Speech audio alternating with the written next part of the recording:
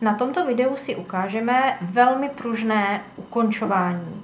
Eh, této metodě se někdy eh, říká anglicky Jenny Super Stretchy Bind Off a jak vidíte tady na tom kousku, který jsem již ukončila, je to opravdu velmi, velmi volné.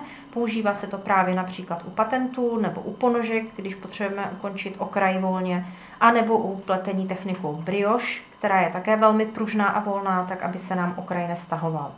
Postupujeme takto. Pleteme jedno oko, kdybychom byli na začátku, tak ho tady upleteme to první oko. Nahodíme ale ne tak, jak obyčejně nahazujeme při pletení, ale ze předu dozadu, čímž vytvoříme vlastně nové oko na jehlici, další oko upletu a tato dvě oka, to nahozené a to upletené, přetáhnu přes to nově upletené. A tím jsem vlastně jedno oko ukončila.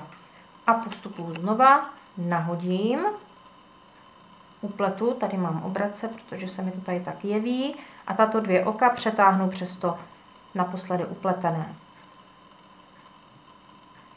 Nahodím, upletu a přetáhnu. Mohu si je taky přetáhnout jednotlivě, je to výsledek je stejný. Nahodím, upletu. A tak postupuju až do konce a ukončím takto pružně celý Платонин.